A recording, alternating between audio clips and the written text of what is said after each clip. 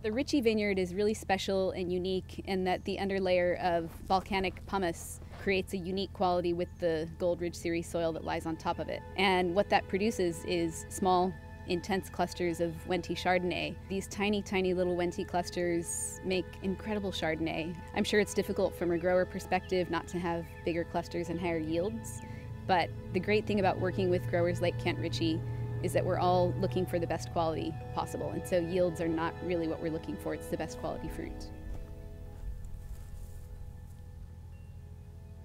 Well, one of the fortunate things that I have here is the soils. The vineyard sits on a volcanic cinder cone.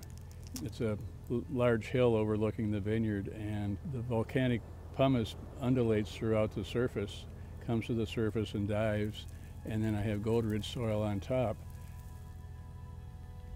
The winemakers tell me this adds to the flavor profile, which is something they really like.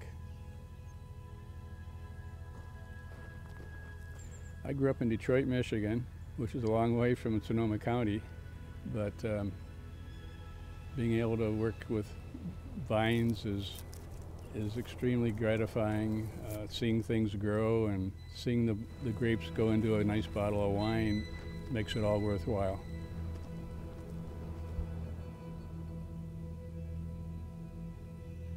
My name's Kent Ritchie. I farm grapes in Sonoma County, and I hope you enjoy our wine.